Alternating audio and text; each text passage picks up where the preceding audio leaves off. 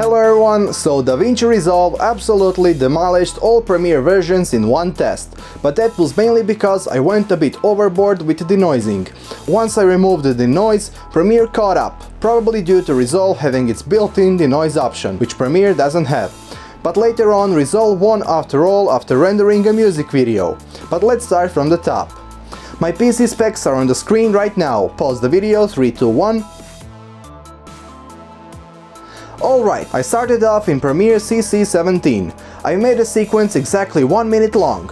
The sequence is a mix of some shots from my GH5 taken at best quality in 4K UHD 10-bit at 400 megabits per second in V-Log-L, some slow motion shots taken in Full HD 8-bit and 100 megabits per second and 100 frames per second.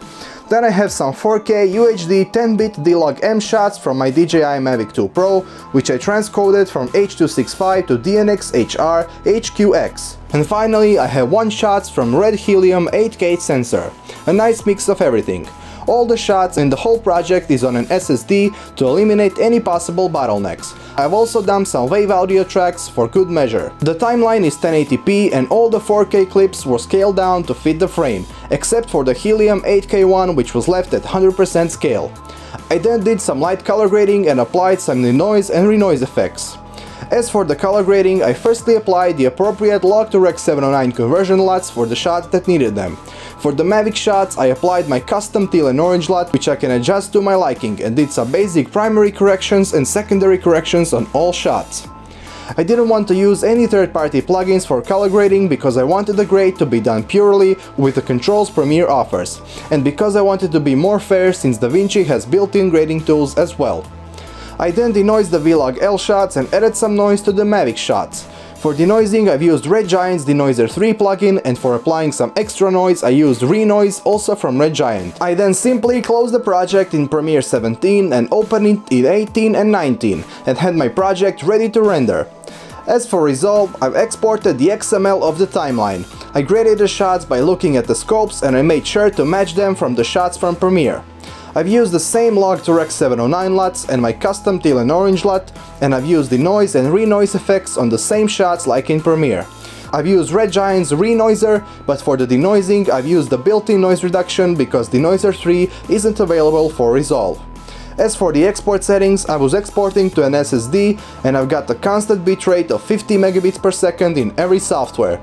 Everything was exported in H.264 MP4 in 1080p. This was my first test and here are the results.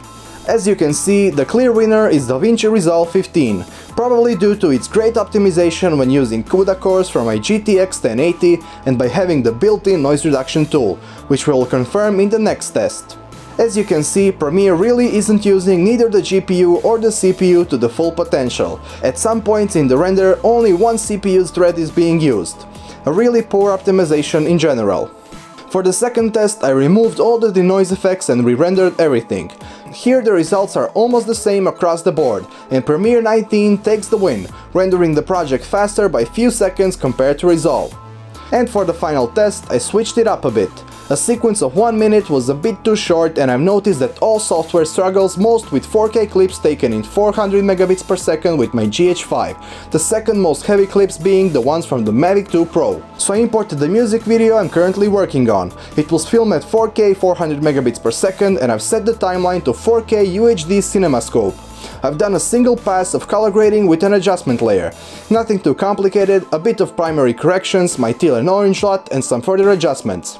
I've done the same thing and opened the project in the other Premiere versions and I've sent an XML to Resolve and graded the timeline to be exactly the same like in Premiere, with same LUTs and the same order of nodes. I didn't use any denoising or renoising this time around. And here we can see that in this sort of a real-world test, Resolve takes the victory after all, rendering the whole music video almost twice as fast. Again, this is probably due to its great optimization and use of CUDA cores. So there you go, in big projects it seems that Resolve will always be faster, especially if you're planning on implementing some effects and want to denoise your footage. If you're interested in any other comparison, feel free to leave a suggestion below. If you like this video, make sure to smash like and destroy that subscribe button. Thanks for watching and goodbye.